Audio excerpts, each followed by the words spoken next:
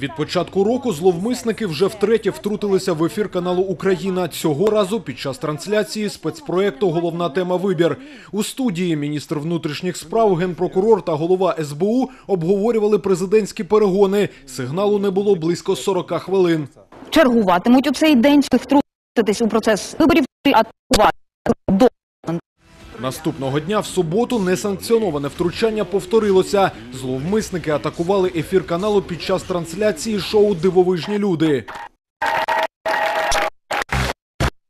Обидва рази ефір атаковано у вечірній прайм-тайм, коли транслювалися одні з найрейтинговіших програм не тільки каналу, а й всього українського телебачення. Вся Україна. Е, На жаль, е, це е, мова йде про супутниковий сигнал, який отримують глядачі на території всієї України. Тобто, ми не можемо сказати, що це проблема для глядачів якоїсь локальної території. Жоден з глядачів на території України не мав змоги повноцінно дивитися програму каналу Україна. Директор профільного департаменту, що відповідає за ефір каналу Україна, провів власне розслідування. Богдан Жданов переконаний, втручання здійснили ззовні, і це точно не вплив природи.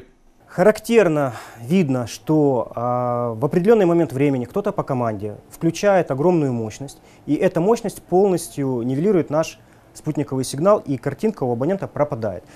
Технічно шлях сигналу від передавача каналу до глядацьких телевізорів здійснюється через космічний супутник. Ймовірно, треті особи використали спеціальне обладнання і подали сигнал на той самий супутник. Тоді в глядачів і зник сигнал.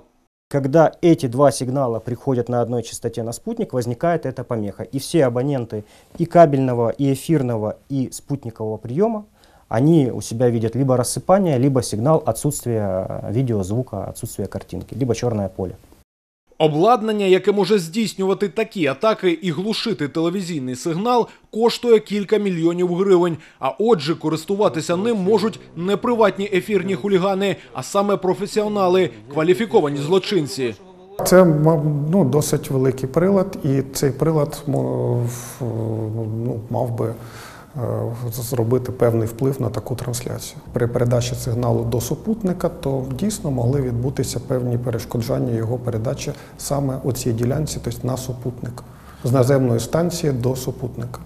Як реальну загрозу свободі слова розцінили спроби глушити сигнал каналу Україна в профільному парламентському комітеті. Глушіння ефіру ТРК Україна у той час, коли там в прямому ефірі були три головні силовики країни, виглядає як серйозний політичний сигнал. І це безумовно демонстраційна загроза для мовлення будь-якого українського телеканалу. Вважаю не зайвим нагадати, безперешкодна робота медіа в період виборів одна з базових основ чесних виборів. Жодні незаконні втручання держави чи будь-кого іншого у форматі перевірок чи точно так само технологічних впливів є неприпустимими і мають бути максимально оперативно розслідувані СБУ та іншими правоохоронними структурами. Вікторія Сюмар, голова комітету з питань свободи слова та інформаційної політики у Верховній Раді України. Зараз Служба безпеки України з'ясовує обставини несанкціонованого втручання в ефірне мовлення. Телеканал Україна готовий співпрацювати зі слідством і надати результати власного розслідування.